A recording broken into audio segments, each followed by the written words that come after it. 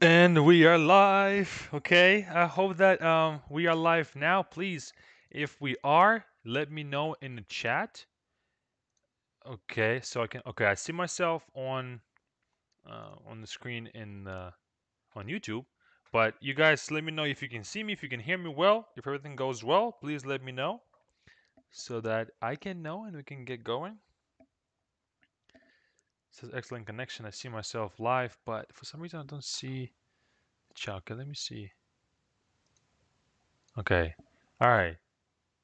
Yes. Hello. Okay. Hey guys. All right. So please let me know if you can see me, if you can hear me well, so we can get going. Have my mic right here next to me. Hopefully the sound is going to be better. Everything is okay. Okay. Perfect. Wonderful. Wonderful. Wonderful. All right. I guess everything is is is going great right now. Okay. So a couple of let me go to okay the chat. There it is. Okay. So here's the chat. As you can see, you're going to be right next to me sometimes. So please, guys, for if you want me to see a question, we're gonna go through our regular kind of a session right now. But after that, while we are talking, okay, I'm not gonna stop for too long. But while we're talking, the only way for me to get your question, for me to see your question, is if you type at be fluent and then you see this pops up right here, right up top.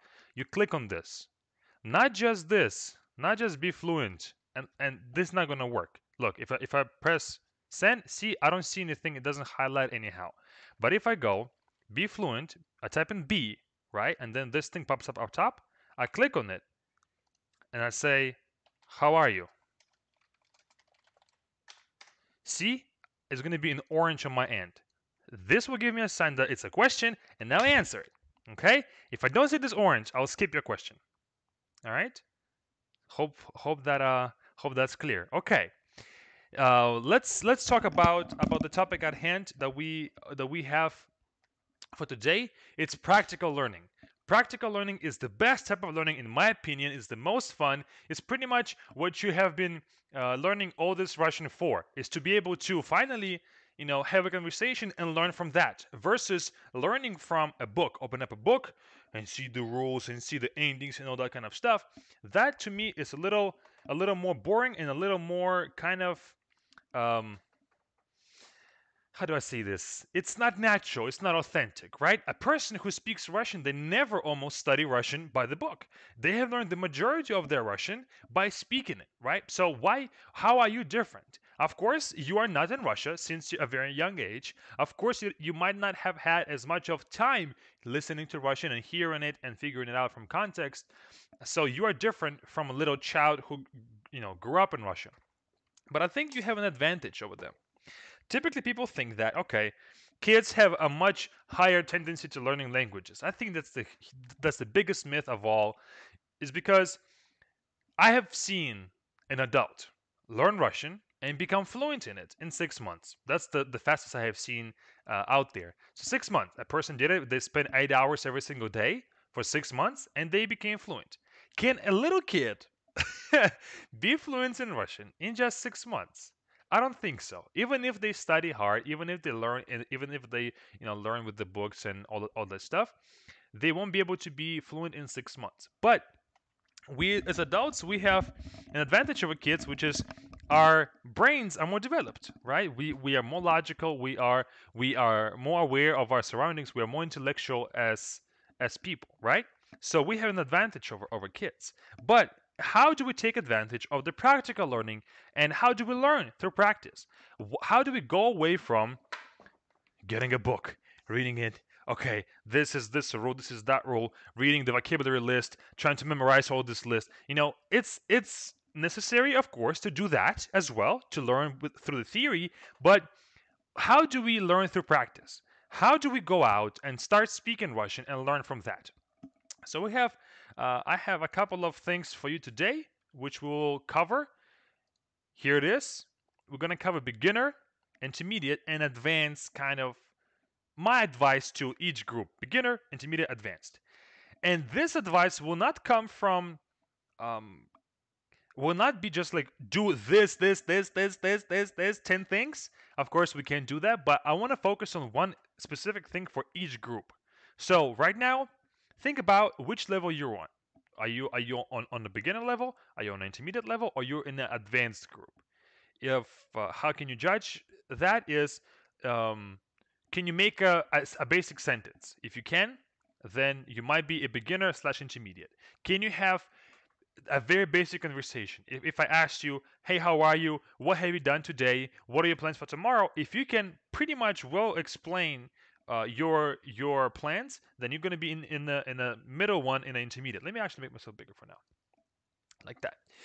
And if you can have a more than just a basic conversation, if uh, if I asked you what kind of movies do you like, you probably will answer me the, the question pretty well, then you're in the advanced group. So pretty much that's kind of like the vague separation. Of course, there's no clear kind of borders between beginner and intermediate, and it's kind of like all vague. But you will get the idea. You can kind of probably judge yourself based on this beginner, intermediate, and advanced kind of uh, separation. Okay? So if you're a beginner, make myself smaller now.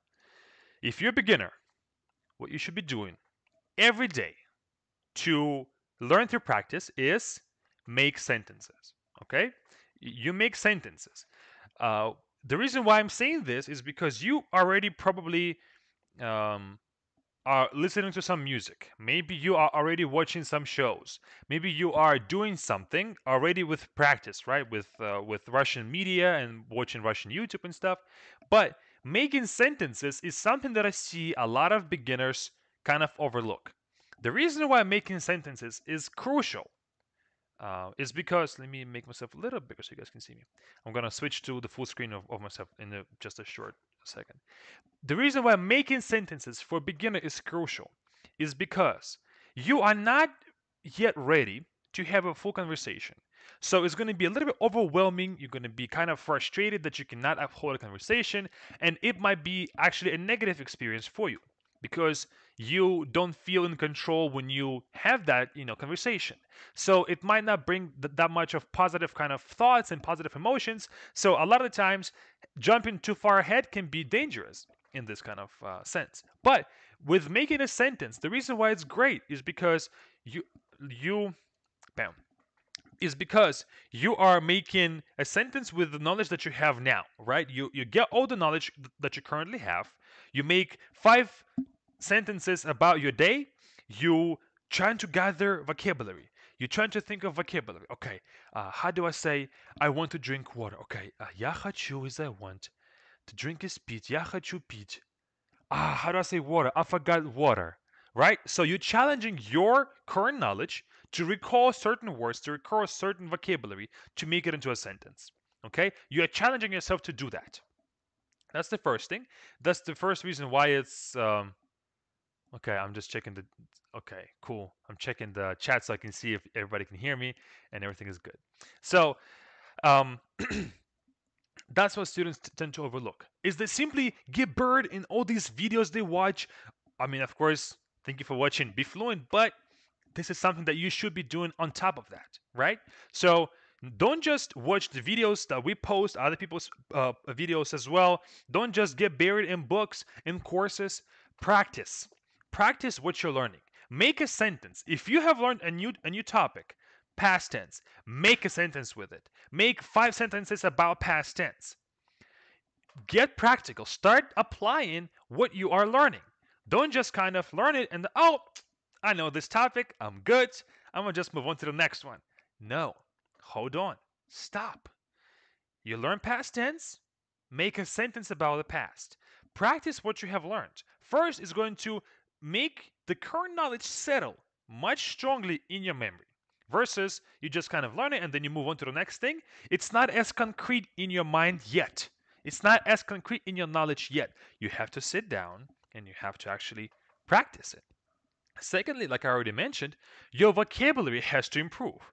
At all stages, if we go back to the uh, slides, beginner, intermediate, and advanced, all these stages will require a good vocabulary. It will require a vocabulary, an ever expanding vocabulary. It will require that because languages is pretty much a combination of words put together, right? So you have to know all these words to put together. You have to know them. You have to know a lot of words. So when you're going to be making sentences, you'll be, secondly, on top of the grammatical kind of reinforcement, you will be practicing vocabulary. You will know what you're missing. For example, like I mentioned, if you want to say, I want to drink water, if you don't know how to say water, when you make that sentence, it's going to be a clear sign that you have to go back and learn that word because you have missed it in a sentence. So my recommendation for all of you guys beginners, if you are not doing that already, is to make five sentences at least every day. Okay? Or every day whenever you study. If you study every day, first thing that you do is make five sentences. Maybe you study every other day. Well, then make make you know do that every other day. Of course, do it every time you practice pretty much. You as a beginner will con- consume a lot of information. You will intake, learn, learn, learn, learn, learn. On top of this learning it, you have to produce something. You have to come up with something. You have to use what you what you know now. Because if you simply learn, learn, learn, learn, learn, learn, learn, learn, learn, it will all be a theory in your head.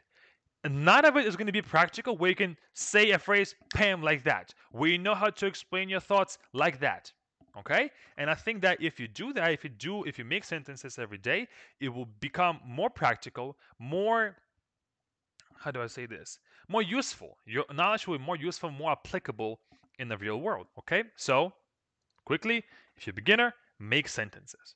Now let me see the chat just so we can kind of talk about it um okay going to the very top once again reading all the okay chat and me pam all right.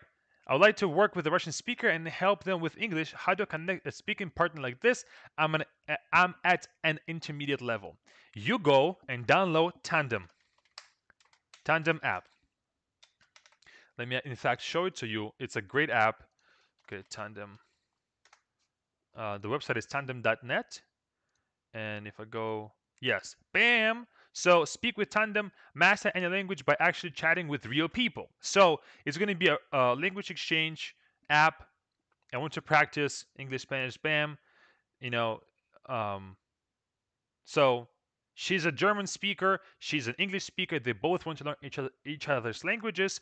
They go on Tandem, download it, and they find each other. Okay, so that's what Tandem is going to do for you. It's a great app. As you can see, you can chat, you can video call, you can correct each other's sentences, you can translate them. So it's a great app. It's the best language exchange app that I could find online, really.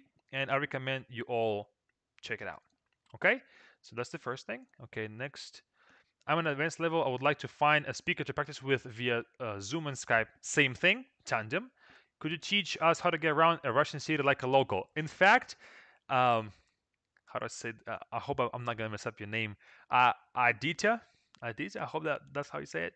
Um, we are we have um, in the plans we have a travel course to create, okay, which will start from how to get a visa to Russia, how to you know fly to Russia, the best ways to fly to Russia, ba- best cities to visit, you know uh, maybe some local places to visit as well maybe some like you know not so popular cities to visit those as well. So but it's it's as you can imagine it's a big course that we have to work on but it's in in the works okay? All right can you see this? Yes i can and i already answered your previous question. Okay. Is there any tip for uh, to read faster cyrillic alphabet because i know i know but sometimes when i try to read it faster, it appears something that doesn't let me read faster with no reason. So I guess like what you're asking is how do I read it faster? And when you see like a big word or something, you may have to kind of process it at first. There is no shortcut. There's no tip for this. Really, you just simply um, you simply have to get more comfortable with it. You simply have to get more familiar with it. You simply have to just read and read and read and read and read and read until your eye can see it like an English alphabet, or um, I'm not sure where you're from, but your question mark in the beginning shows me that it's, uh, I guess, a Spanish country. I'm, I'm very ignorant when it comes to that, so I might be wrong. But um, you see Cyrillic just like your native language written.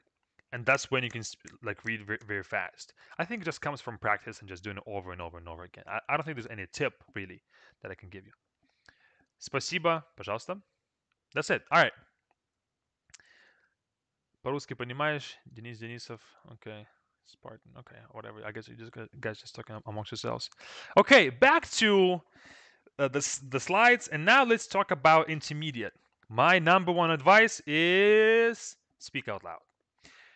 All of my intermediate people speak out loud. Maybe you know you make sentences like on, on the left side, right? You make a sentence right here as a beginner, and and then when you are in an at an intermediate level, you don't just write out ideas.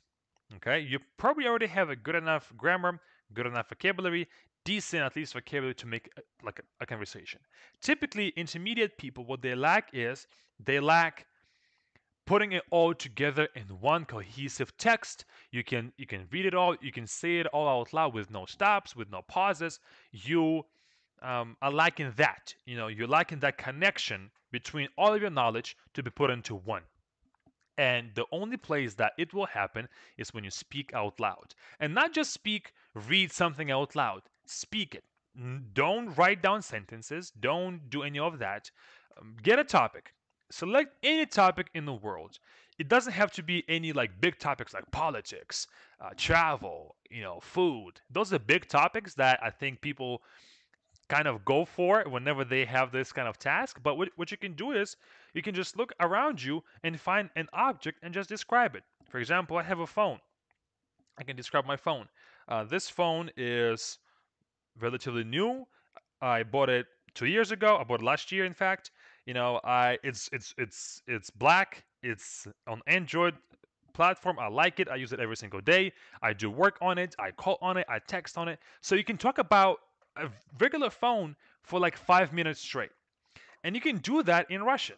Challenge yourself. Get a topic and just get going. Start speaking right then and there. Don't think for too long. Just go at it. Okay, and start speaking and see how far you can go, how far you can get. What obstacles will you face? Just like with making a sentence that we have mentioned previously, with this one, first things first, you learn how to put your thoughts into words. If you don't practice that in a second language, then it won't just work like magic. You have to actually practice it so it can start working. Your thoughts don't automatically transfer to your your, your thoughts don't automatically transfer to words in the second language. You have to get used to doing that. Okay, let me go back to myself. So speaking out loud. Um, so that's the first thing. You all your knowledge kind of goes bam into one big ball of of Russian speaking. Okay, and you learn how to do that better. That's number one. Number two, you will find what you're missing. You will find find the, the gaps of your knowledge when you speak. So imagine if I were to ask you, hey, um, talk about your phone, about your phone, where you bought it, when you bought it, how much was it, do you use it every single day? If I were to ask you all those questions, and you just simply were asked to speak on the spot, what would be the things that you would, you know, uh, run into when it comes to your obstacles? a lot of the times it's going to be a lack of vocabulary of course right? It's going to be in kind of like an uh, ever existing problem.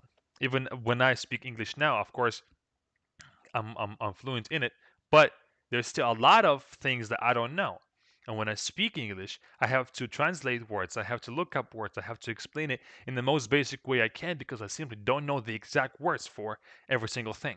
Unfortunately still it's going to be like an ever going uh, the problem will never go away i think. So whenever you speak those that lack of vocabulary will show exactly the words that you don't that you don't know that you need to know. If i once again ask you to, to, to talk about your uh, phone let's say you don't know how to say this phone is on android platform how do you say platform in russian how do you say android platform in russian you may not know and then once you're done, oh, I don't know how to say Android platform, took a note of it somewhere. After you're done speaking, you went online and you looked it up, and now you know the word. That's that's one. Uh, and then you will find gaps of knowledge in your grammar as well. Maybe I asked you when did you buy it, and you couldn't figure out how to properly talk about past tense. That's also a sign that you're missing something, and to go back and to relearn that. But the most important thing, I think, uh, it's number three is it breaks that kind of psychological barrier that you have I'm not asking you yet to go in and speak into and speak to the person, to a Russian native speaker. That's not what I'm uh, asking you to do yet. Okay. And while you're at intermediate level, of course, you may have a conversation here and there, but it's not going to be a full Russian only conversation just yet. It's going to be a little bit harder for you to do. But you, if you speak out loud every time you practice Russian, you won't have as much of nervous kind of thoughts coming into speaking to a native. So imagine if you were to speak Russian to yourself out loud every single day for a month. So that's 30, 30 times you speak Russian out loud for five minutes. If you were to be asked to go and speak to a person, to an actual Russian native, are you going to be nervous? Well, of course, you might be a little bit nervous. Of course, you might be a little bit kind of, uh, I don't know, uh, you know, you'll be unsure. Your nerves will kind of kick in, and of course, it's still going to be awkward. All those things, but it does not compare to how awkward it would have been if you didn't practice at all. Imagine if you didn't practice Russian speaking at all, and then a native came to you and started asking you questions. You'll be frozen, right? You couldn't, ah, ah, ah, ah right? So that's what will happen to you. But if you practice for 30 days and then you have to speak to a native, your confidence will be much, much higher. And it's great because having a good confidence is also like p- part of the problem, part of the uh, half of the solution. So back to this. Speaking out loud will, number one, show you what you're lacking. That's number one. Two, it will kind of train you how to put everything together pronunciation, vocabulary, grammar. Not so much listening, of course, is going to come into the advanced kind of level then. But still, those three things grammar, pronunciation, and vocabulary all will kind of gel into one, and you will learn how to do that well. And then finally, of course, number three is it will break the kind of nervousness and, and, and the nervous kind of barrier that you may have. Okay, that's that for the intermediate. Let me go into the chat and see what you guys are asking. Maybe answer some questions here. Okay. All right. Here it is. I play video games in Russian I try to read the Cyrillic signs in game. Is that a good method of learning? Of course. Of course. Russian is supposed to be practical just like this. You know, if you read signs, if you read the subtitles underneath or something, right? Or you read descriptions of, of items in the game, you already have a context of the game, right? So when you see the word Mitch, right, and let's say it's it's a mobile game, right, and you see Mitch, Mitch on all the swords, well, that's gonna give you a clue that Mitch is a sword, right? And then you're not actually looking that word up, but still you are learning it, right? You still were exposed to it, and maybe some other things are there. Pronunciation is there. You listen to Russian, of course. You read Russian you just like see all these Russian words around yourself, and you're not and you're not actually learning it when it comes to like actually sitting down and reading a book, but you're still getting exposed to it, which is awesome.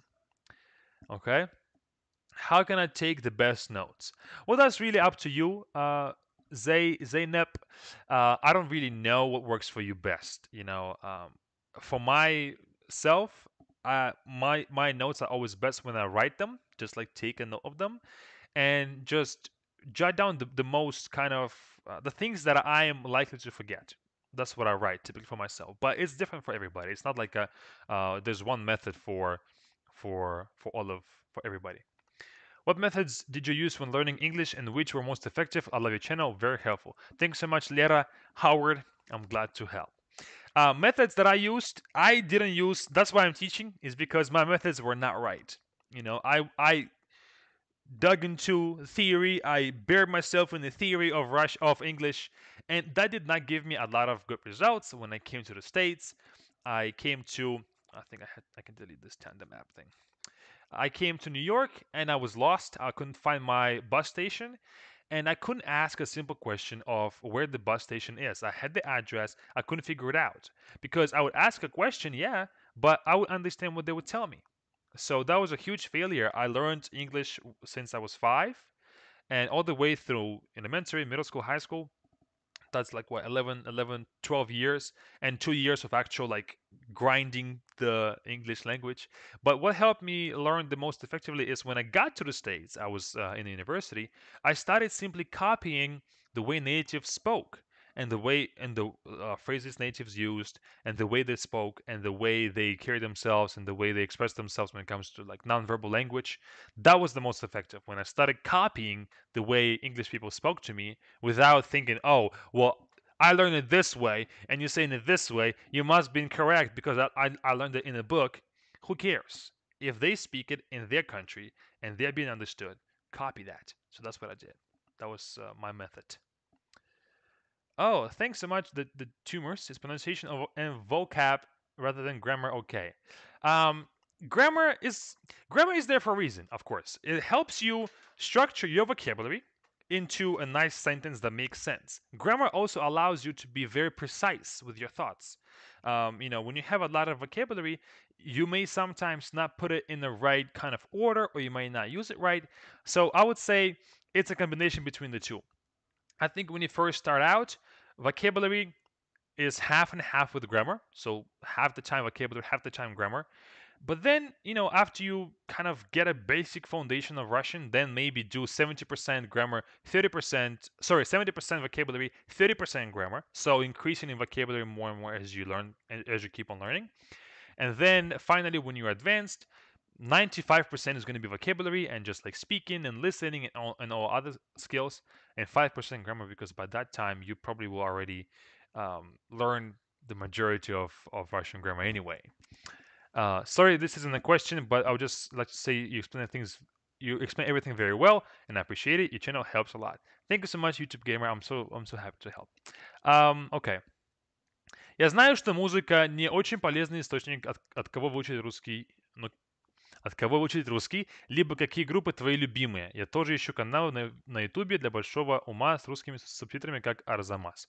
So pretty much the question is, uh, I know that Russian music isn't the most useful information, the most useful resource for learning Russian, but how are, uh, what are your most favorite bands?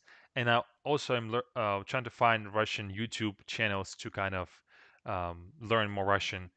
And yeah, I would say Abarona, I my my favorite bands are not Russian. I listen to a lot of rock music, and unfortunately, rock is not the the genre in Russia. it is some some things are there, but not as much of quality. So, and I don't really watch Russian. I don't even watch YouTube like that. Um, so it's really hard for me to give for me to give you advice because it just really it depends on on your taste. It's very subjective. So I would just say just search out there and find the one that you love and maybe look at some top like top 50 Russian channels, top 50 Russian uh, intellectual channels or top 50 Russian learning channels, whatever, you know, and you and you find the ones that you love. Uh, okay. Oh, it went all the way down. Okay. I think uh, all right. How do I set up a Russian keyboard on, the, on your computer if using a regular English keyboard? You can uh, just simply type up Russian keyboard, Windows 10, or a Russian keyboard, MacBook, whatever you have. And then you can also order Russian stickers on Amazon. Or uh, you can probably find it in your country as well in some online store. And uh, I used to have it on my keyboard. I would just simply just like take one sticker, put it on one key, take another sticker, put on another key. But right now I don't have to have it. I only have English on my keyboard and I know where Russian letters are already. So I don't have to have it now. So hope that helps. RSZ. Juan says, I have a question about numeration of Russian, for example, about decimal numbers, how to say them. Look it up. This is just simply a, matter of vocabulary. There's not much I can explain. Uh, there is simply just look it up and see, uh, you know, how to say it. I do it in Metro Exodus. Uh, I read all the posts about. Okay, who's who's that? Maybe there's another, another donation. Um, and apocalyptic science and listen to Russian audio. Yeah, that's good. Metro Exodus. I, I don't know this game, but hope it helps. Hope it helps. Hope it's uh, helpful to you. Should one learn just words and grammar first, or learn sentences and repeat them till you memorize them? Phrases and uh, learning as a sentence is good uh, when it's a certain message or a certain idea, like "Я хочу есть," I want to eat. You don't have to learn "я," then "хочу," then jest separately, it's all one phrase. But it's good if you can understand each part. But of course, if you learn this as a whole, then that's better. It's going to save you a lot of time. But try to understand each individual part of the phrase that you're learning. When does a foreign accent become bad pronunciation? Like it's okay to have a subtle difference in pronunciation, or does that just sound amateur? When you first start learning, you will have an accent. There's no way around it. You simply the muscles that are used in your language are different from from Russian. After many years of speaking English, I still have an English accent. Maybe it's not as bad as it used to be, and it's not as much of a barrier when I speak. But of course, after I speak some Russian for like an hour or two, then don't ask me to speak English because I'm gonna have a bad accent. It's because you kind of you change up your gears and it's kind of bad. But as long as people understand you, I think that's a good sign of how you can really tell if you have a bad accent or or, or not. So I would just simply say, you know, um, see how people react and respond to your accent. If it's good, if it's not that bad, if it's not that bad, if they understand you, don't worry about it. But of course, if it's a barrier, then you might have to change it up. You might have to do some work on that. So yeah. Uh, how much does it cost to, on average, to learn Russian? I'm Lithuanian, by the way. Uh, it's I think it goes for for everybody. Lithuanian is going to be easier because you kind of have a similar pronunciation to Russian. But I would give you a thousand and five hundred hours. That's the mark. A thousand five hundred hours to learn Russian and be fluent in it. I'm, a, I'm a, at intermediate advanced level and my wife is a newcomer beginner. How can we work together in learning? We plan to move to Nikol- Nikolaev, Ukraine from USA in a year. It's not much that you can do together. I think you can help her and have a conversation with her, of course, and you can help her a lot. It's not much you can do together because you are you are studying different things. You know, you are studying you probably are focusing more on vocabulary while she's still learning like grammar stuff. Uh, but I would say maybe get into the same programs, and I think you can help her out more than she can help you out.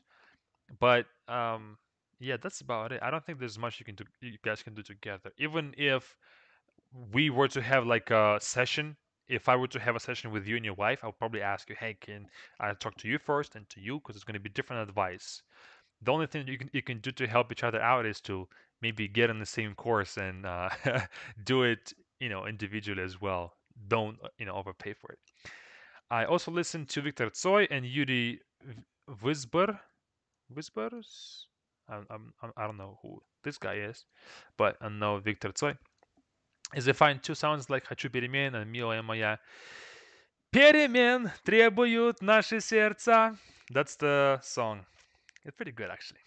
Uh, I don't want to get demonetized. I was going to turn it on, but I might get demonetized for that. Uh, yes, of course. It's uh, if you're a beginner, intermediate, just I think listening to songs is great for for pronunciation mostly, because vocabulary is going to be very situational and very poetic at times. So yeah, just listen to that for most of pronunciation maybe some words of vocabulary. Okay. Can you please tell me the difference uh, between мне, меня, тебе, тебя? It's simply a difference between a genitive case and a dative case. Look that up. How can I make sure that I'm learning Russian properly? Do you have tips? I, I took a class for a bit, but now I'm learning independently. You, my only tip is judge your overall communication level. So, uh, how, how can you do that? Is you can have a conversation with a person and see if you're getting better or not. You know, what are your mistakes? What are you lacking? What's your lack of knowledge when you speak to a person? What's limiting you? Once you speak, take a note of that, and then whenever you go back to learn or study, just simply take care of that. You know, if you're lacking vocabulary, go back and study vocabulary and things like that. And then do the same thing in a month and kind of have your own kind of self test, I guess. Oh, I kind of skip all the way down. Oh, Abarona, thank you so much. Number one fan. Thanks. okay.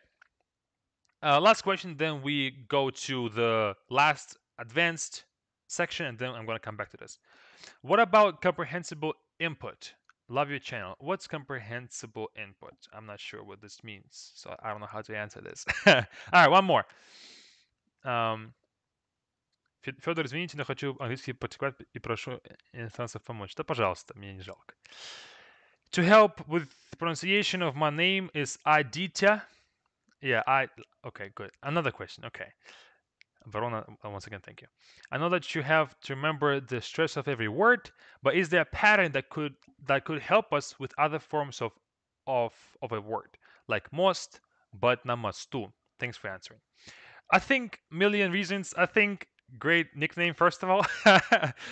There's no pattern. Unfortunately, unfortunately, there is no overall pattern to Russian stress. Of course, certain things like a certain prefix will change the stress of a word in a certain way, but it will also change from a word to word, you know? So it's not going to be a complete um, pattern there.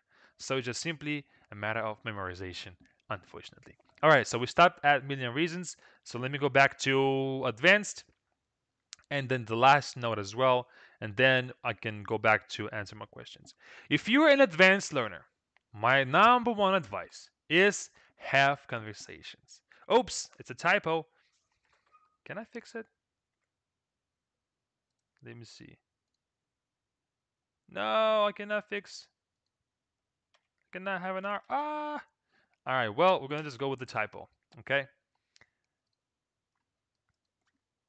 All right.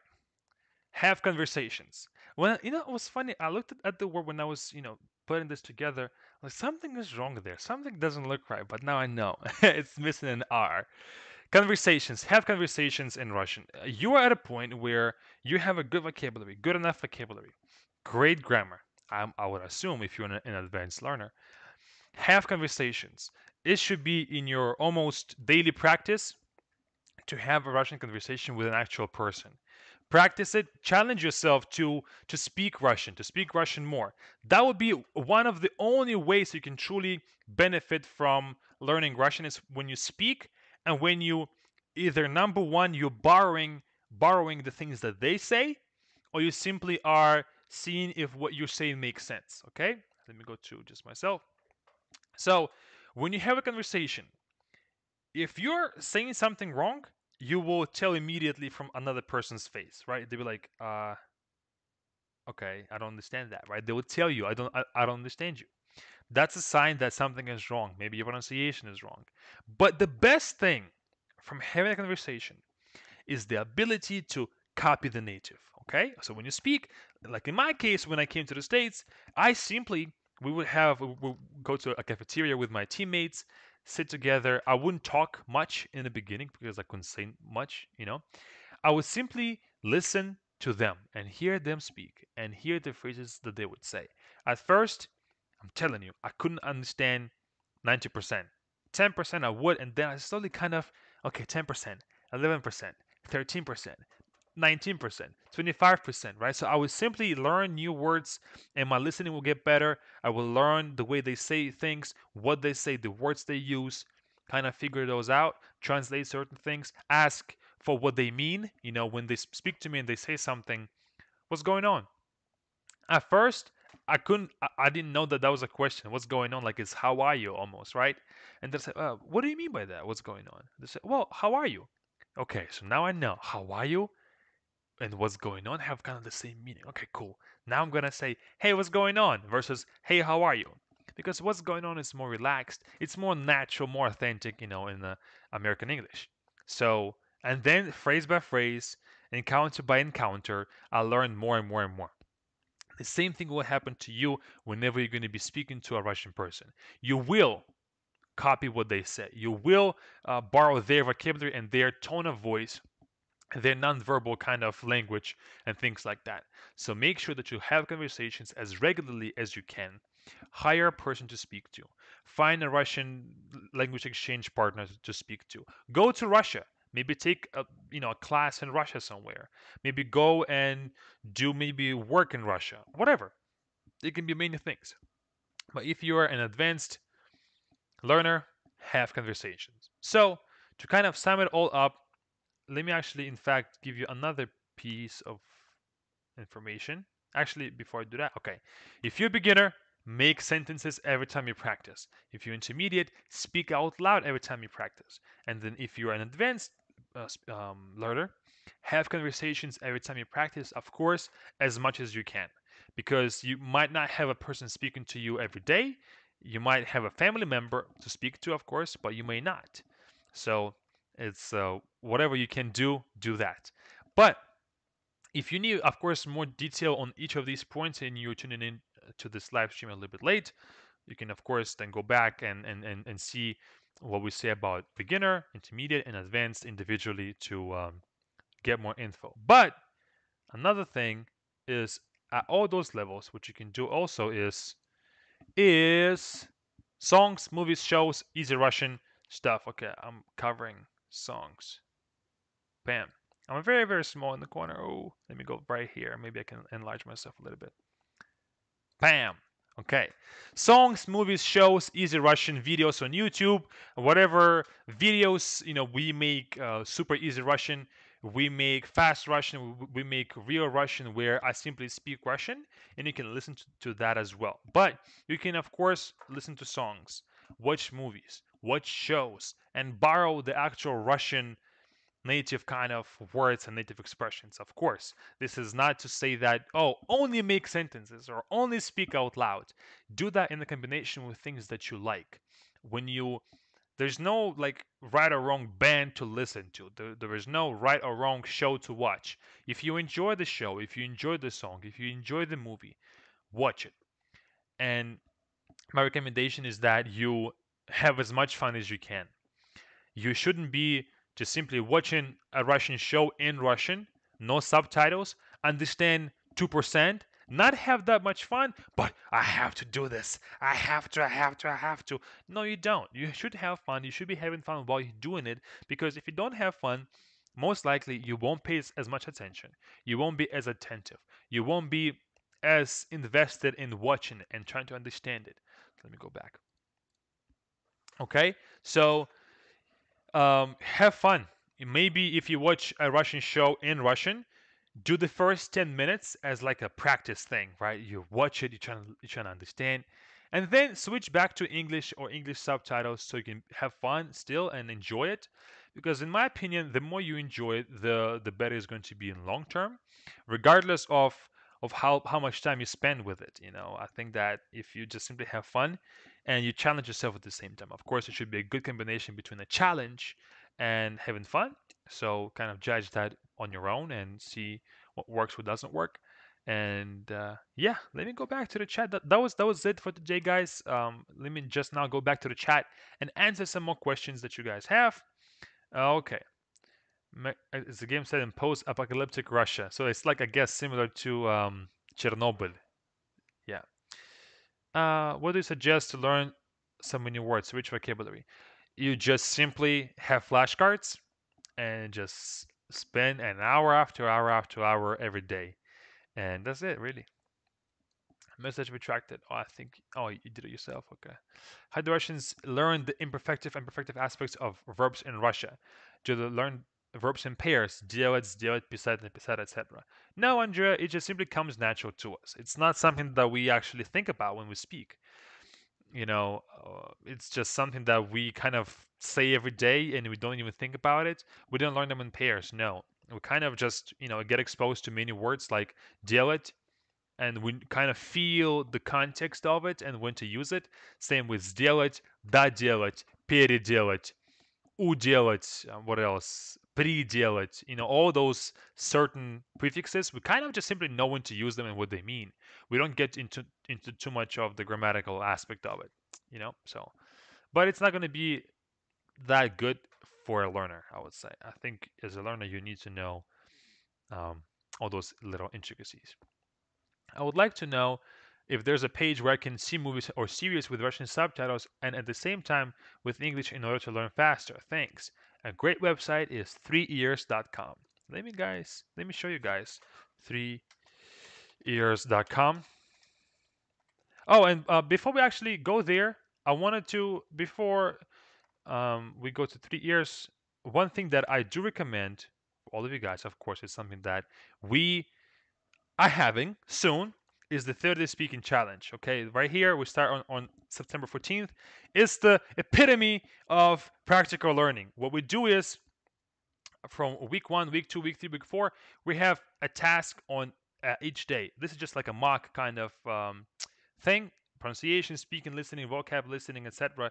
As you can see, every day we do something different. But of course, it's not going to be this kind of structure. It's just, just, it's just like an example right now. But it's going to be speaking, listening, and vocabulary for 30 days. Each day, you'll be challenged to speak Russian, to maybe uh, learn new vocabulary, uh, practice speaking, practice listening, practice something else. So it's 26 tasks total. Let me actually, I can probably zoom into this, right? Yeah, Pam, that's better. 26 tasks total in 30 days, so we're not going to do on Sunday task. We're going to focus on communication, of course, because it's important for you guys to um, speak Russian, learn vocabulary. We're only going to cover useful Russian, no slang, uh, sorry, no, no, un, like kind of very formal and things that you would not use. And yeah, and what we have is of course, the premium package, let me talk about that a little later. We start at $49.99 for the whole 30 days. Uh, that just includes whatever I just described. So 26 tasks. You submit it every day. Okay, am I covering anything? No, okay, cool. Uh, you submit it every day. When we send it to you, you send it back to me. I, I give you feedback on your actual current Russian and things you need to work on. And if you want to have more resources, join with the premium. Uh, you will have access to our library of resources with you know different courses, different grammar courses as well, and of course private session with me one-on-one uh, on a weekly basis. So in 30 days, that's four weeks. You're gonna have four sessions with me one-on-one, talking about speaking Russian. We can talk about your Russian and your overall progress and things you have to work on. We start on uh, September 14th. We don't have that many spots left because we do have to kind of consider um, we do have to consider how much time we can dedicate to each person. So we're not going to have a lot of uh, people join. So just make sure that you join now before before it's too late. Okay. Uh, okay. And now going to 3ears, something that I uh, wanted to show. So we started working with 3ears um, recently um, to kind of give them more content and then we're going to use it on our Fluent class platform, on our own platform for learning Russian. Uh, but for example, this movie right here is it's called Stiliagi. You go in here, you let it load. you can see it's a movie right here. Let me go to, okay, let's say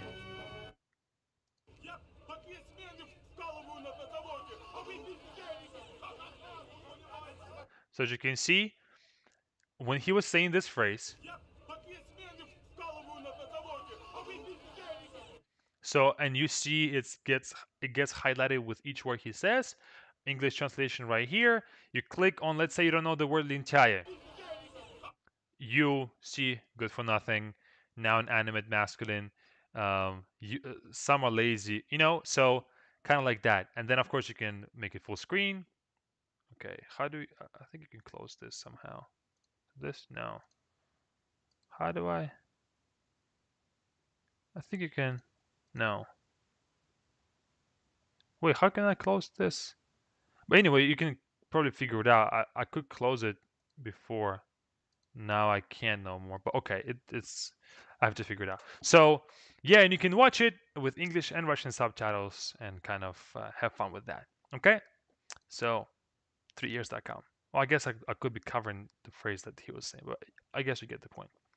All right, back to the chat. Спасибо за прекрасные. Thank you so much, Sean Sean Patterson. Thank you so much. Oh my God, it, just skips a whole bunch of people. I have a lisp and I struggle with this, z and s in Russia, like sha and sha, and attempts for English native with list learning Russian. Unfortunately, I don't have any advice because I'm not really um, a professional in that area. But I know that people have um, to have Lisp in Russia as well, so it's not like a big thing. Thing. Uh, can I improve through watching Russian series, or should I improve my vocabulary before? You can. Okay. Okay. People don't don't don't have manners, I guess.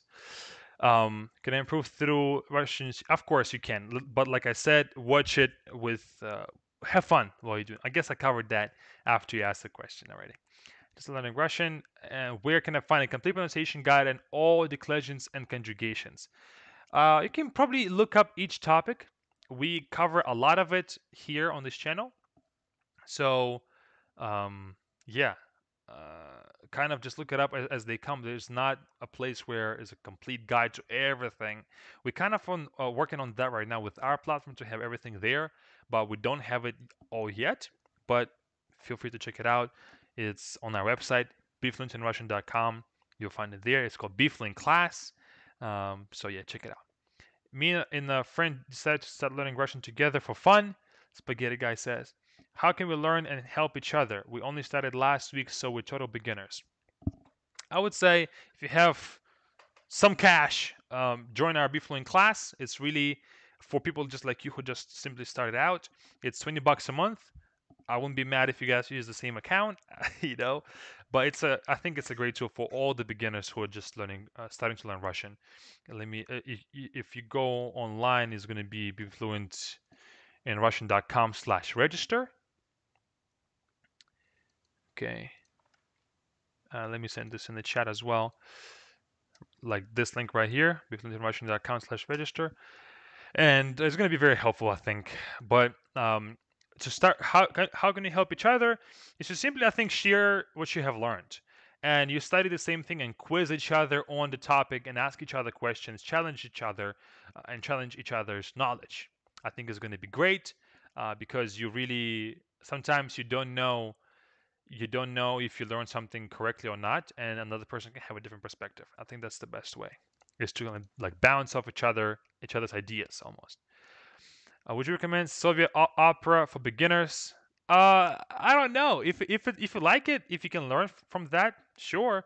But with operas, you, you tend to not really understand what they're saying as much. So, um, would you recommend children's shows as a way to learn vocabulary? I find I can understand most of what's being said, but I worry it might stun my vocab.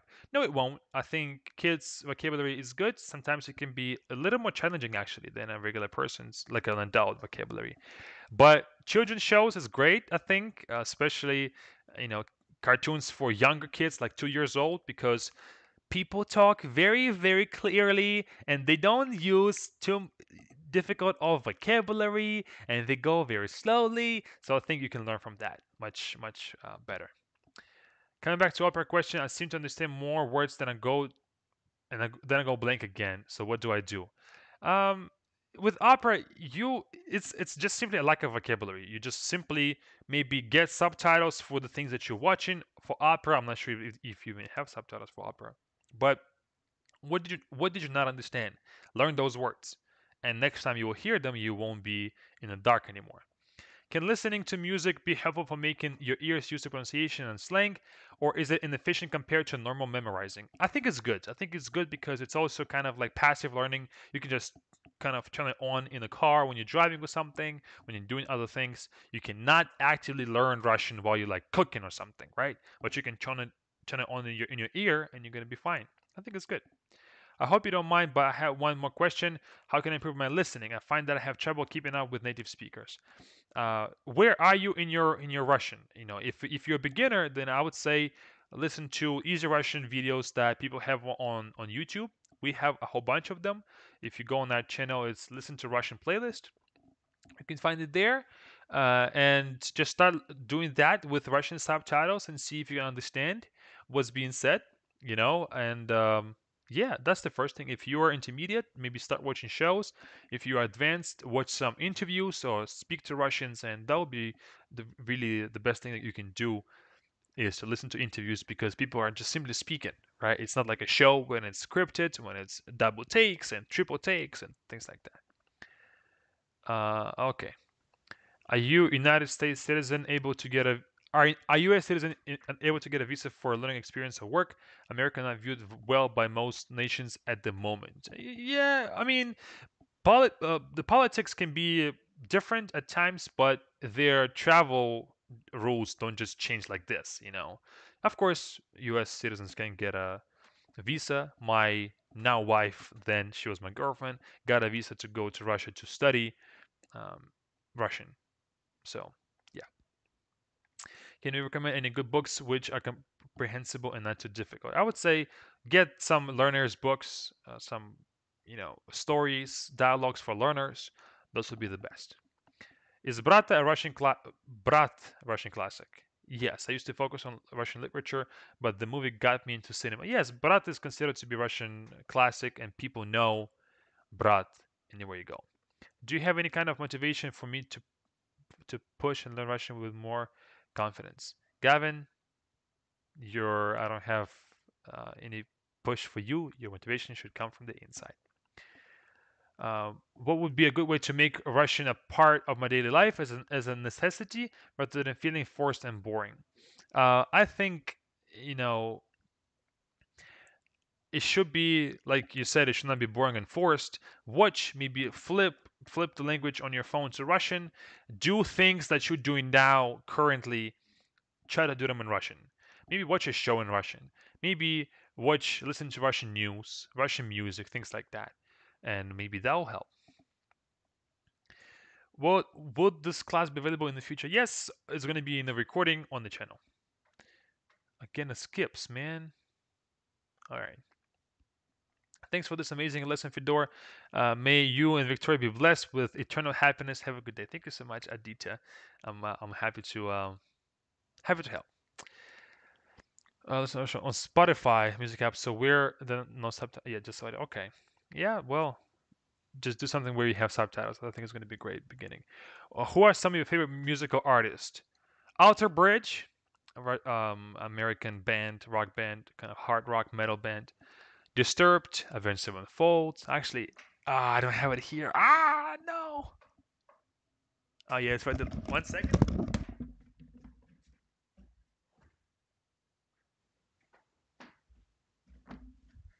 If you guys watch the video, actually, it's gonna come out tomorrow. I'll talk about clothes, uh, and I'm talking about me buying a jacket for myself, like a sweater. So I bought Avenged Sevenfold jacket. Pam with a bat. Oops, with a bat on the back of it. Ah! Oops, where is it? Like this, I guess. Bam. Scary, but this is a Russian. Uh, sorry, not Russian band. American rock band that I, I like to listen to a lot. So I love it. Um, so yeah, Avenged Sevenfold, Disturbed, uh, uh Alter Bridge, Tremonti as a band. Uh, I like to listen to a lot of sometimes hip hop. Like I, I like listening to, listening to Eminem, and I guess that would that would be it. Yeah. I just want to thank you for for everything you do. Keep up the great work. Спасибо большое. Happy to help. We will start to make content for intermediate slash advanced people. Uh, we do have a little bit here and there. We just try to simply um, um, do a lot content that's more kind of demanding for people. I think intermediate slash advanced people kind of can find the answers for themselves to the questions that are burning questions. But of course, if things that we feel like people are misunderstanding or we have a better way of explaining it, we'll make a video about it. We have a lot of content coming up for uh, intermediate advanced people on our website, on BeFluent class, on our platform. But I think for intermediate slash advanced people, the reason why there's not a lot of content on our channel is because at that stage, it's more about practice. It's less about grammar and about vocabulary kind of discrepancies here and there. It's more, it's more about just simply talking, speaking Russian, and doing those things. That's why it's not that much on our channel. This is a fun question, but do you play video games? Of course. Let me show you something. I guess I hope I can. Okay, one second. um, let me show you my screen. If it will load, geez. Okay, let me go back. Where is it? Okay, it's loading. All right, I'm, I'm, I'm uh, one second, Aditya. So I started learning Russian over five months ago and signed up for a speaking challenge last week. Thanks. Thanks for helping out along the way. I'm looking forward to the course. Me too. Uh, looking forward to it too. What do you think about FME method for learning languages? I don't know what FME method is. Can you tell me so I can give my opinion about that. About that. How do I know the difference between moi, moi, and maya? Your channel has helped me understand Russian more with, while I'm on Duolingo. By the way, good. It's moi, maya, and mai is simply a matter of gender. Moi is masculine, maya is feminine, mai, mai is plural. Just type in YouTube Russian gender of nouns, and you'll find the answer to that. But what I want to show you answering Aditya's question is this. Is this library of uh, my library of, of games on, on Steam is uh, what I uh, play recently. I've, I play I used to play a lot of Dota. You know, as you can see, 2,000 hours total. So play Dota, Dota on the on the Lord. So playing me and my friends playing Dying Light currently. I play Wolfenstein by myself, but I have 135 games. A lot of them are not there because they're hidden. I don't know how to show that. Okay. No, that's not it. Yeah, I guess this is all kind of the games. Wait, I used to have much more than this. It's probably some someone just hidden. Yeah, I I hit I uh, hit a lot of them. Okay, let me see. It's some. Well, I don't even know. How do I show? Like I I hit them, but how do I see where all of them are? It's okay. It's whatever. I guess. All right. So yeah, I, I, I do like to play a lot of games when I have free time. Uh, okay. Do you like Molchat Doma? I don't know what that is, unfortunately. I like and I read his lyrics. I guess that it's it's a band or artist. Yeah, if if you like it, go for it. Do, do you listen to Hard Bass? I don't. From artists from no, I don't. I think Hard Bass is like it, it was a, a thing for like one summer or something, and then it kind of became the Russian, the stereotypical Russian thing that now it's made for foreigners, not for Russians. I, I haven't heard Hard in, in Russia for forever. Thank you, Tumors, for correctly writing brother. to last for apology. oh my god, thanks. Now, where can I find someone to practice my Russian with? Uh, Tandem app, Tandem language exchange. I'm learning Russian to understand the Russian perspective of the on the Cold War. That's good. Do you know any specific documentaries or books that you'd recommend? I don't know. No, uh, I, I learned about it through like various Cold War YouTube videos and when we learned it in our history uh, lessons in school. I don't have any books that I would read by myself about it. Um, favorites uh, Stalker. Uh, I still have to. I still have to go through them. I still have to get through them because I know that there's a second Stalker. Come Stalker. Uh, Stalker. I'm gonna say it in Russian. Stalker coming out. So yeah. What do you think of Indians? Also, damn, you have uh, Stalker and Dota 2. You're true gamer, my lord. Sorry for doubting you. uh, I'm, I'm, not not a true gamer. I think I I'm, i play for fun whenever I have free time, and uh, I do have a lot of it because you know I kind of, especially with this pandemic, I work for BeFluent. You know, I work from home, so I don't have to travel from you know home to work and back and forth. So I have a lot of free time to play. Um, of Indians, I don't have any any sort of opinion on Indians that I didn't have any like it's just neutral. I think it's just like any other nation, just like like anybody else. I did have a, uh, an Indian professor in school. He was a cool dude. His name was Sharat Maheshwari. He was a cool dude. Yeah. What are the best Russian movies or series to watch? It depends. Uh, it's up to you. There's a, a whole bunch on Netflix. Just find whatever one you like. Yeah. Have you seen Gopniks on the streets in Russia? I, of course. I wouldn't say that I was a Gopnik myself, but I kind of grew up in the area where Gopniki was like, you know, depopulation. Of course, they're not going to be sitting on the streets a lot. They're just like doing their own thing, hanging out, drinking, and stuff. But it's not like they're not disruptive or anything. I think people uh, have a bad rep on Gopniki. So yeah, it's like only a few of kind of these aggressive kind of gopniks on the streets. But I think all regular people are not like that, you know. Uh, is there a specific time or day of your, for your live streams here on YouTube? Hugs from Brazil. It's just kind of randomly, so no no schedule. Do you live in Russia? I don't. I would love to. I live in the States, uh, and I plan to go back, back and forth between Russia and States whenever things open up.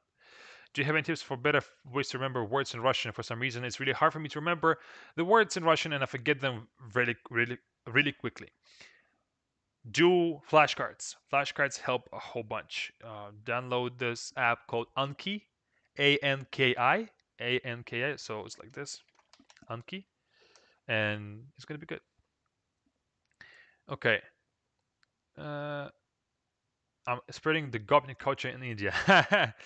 what are Gopniks gangsters? It's like uh, if you're if familiar with the it's like chavs or ignorant people who are very aggressive and typically thought of like low lives kind of people, I guess. St. Petersburg, best city to study in, in university and live in Russia? If not, what would you recommend? Uh, Moscow, Moscow, um, St. Petersburg, and Novosibirsk. Novosibirsk is far; it's my hometown, but it has a great scientific station there. But St. Petersburg and Moscow are the best, I think, and has more variety for for tourists and is much more equipped for tourists. And it's really up to you um, what kind of person you are and what kind of university you like to get into. Do you rec- recommend shadowing method, like shadowing from people? I guess if if that's what you mean, then yes. Can you recommend any Russian rock metal? Shinedown. I forgot Shinedown. They kind of went went downhill with their latest albums. With their when they kicked their um, guitar player, they kind of went down in the in the in the in the, in the uh, you know rock. Uh, I don't have, unfortunately, any Russian rock bands to recommend. There's not many of them there, and it's typically just kind of a copycat of American bands or English bands, and it's not that much there to, you know, to interest me really. Have you ever been to Vladivostok? Yes, I have been to Vladivostok last year when I got no two years ago when I got my visa. No, last year. Yeah, last year. When I got my visa renewed, I had to fly to Vladivostok. It was great. It was awesome, but I was only there for like four hours. What made you d- decide to spread this awesome language and culture to new people who are interested? My family is Slavic but retain no culture, so it's great. Um, what inspired me was that when I came here, I realized that people uh, don't have a good understanding of who Russians are and wh- who they are as, as people. And I was like, you know what? There's a lot of stereotypes, a lot of bad things, bad rep to Russians, and people just simply believe the news because they, they cannot, they don't speak Russian, they cannot go into Russia, they cannot uh, watch Russian news. But I think when I decided to do it is when I realized that if I just spread the language to people who are interested, they will go to to Russia to find out what Russians truly are as people, and it will kind of stop this hate between the, the, the cultures, hate between the nations, and politicians will be kind of forced to cooperate eh, versus fight against each other. Because people are like this that means that politicians have to be like this as well and not like that. But while people are divided it's so easy to just um, do whatever you want with aggression and stuff like that. Why did you move to the united states? I studied i went to school here met my wife here my wife is american and it's just easier and better for her to be here while to me it doesn't really matter as a tourist, what am I see in Moscow and St. Petersburg if I ever go there? I am a tourist in Moscow and St. Petersburg myself, so it's not like I know a lot. So I'll just simply read read on some guides. I'm from Novosibirsk. I don't really know much about St. Petersburg and Moscow, besides what I've just seen there. But that's just you know basic things. Do you know any Russian bands that, that are like Imagine Dragon? If you know them, I don't know them, but I don't listen to Russian bands. Um, so I'm, I'm not like a good person to, to go for. Yeah. Have you heard the songs by Lube? Of course, it's a Russian rock band, kind of a Russian rock band. It's not like kind of pop rock, kind of not pop rock, but yeah, pop, more like pop. And Putin is a fan. Yeah, I guess it's, it's an old like Russia, go Russia, love Russia kind of band. That's that's what Putin is for. When was the last time you encountered an English word you don't know recognize? Uh, maybe a couple of days ago. I don't recall what it was, but I, I get that feeling from from here and there. You know, I, I would say every week. Do you like Вечерний Ургант? I think that's a good way to learn Russian. Yes, it's a great, great evening show. Yeah, I watch Soviet cartoons too. I listen to radio and good music in Russian. Thank you so much for help. Uh, Vid Vid Sopra, you're welcome. Yes, it's a great resource, and what you're doing is great. Keep it up. You're very good, man. Keep doing what you're doing. Have it help. Did Doomer music originate in Russian culture, or is it just an internet thing? What's a Doomer music? I don't know what Doomer music is. Sorry. What's your favorite Russian food? Pelmeni. Pelmeni is like dumplings. It's my favorite Russian food.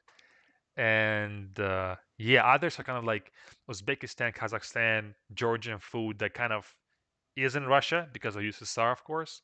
So yeah. But all right, guys, thank you so much for this uh, wonderful chat. I loved how we kind of uh, chatted at the end there. So thank you so much for all of you guys who have joined. Join our 30 day speaking challenge is the link in the description. Join us today. We are running out of spots slowly but surely. Secure spots today to learn how to speak better, how to um, listen better, how to increase your vocabulary with great advice from us, from BeFluent team. We're going to share everything that we know with you and challenge you to speak Russian and challenge you to use your Russian in a conversational way. Yeah, I'll see you all next time. See you all tomorrow with the video with the super easy Russian to train your listening. So stay tuned for that. And yeah, thank you so much for joining.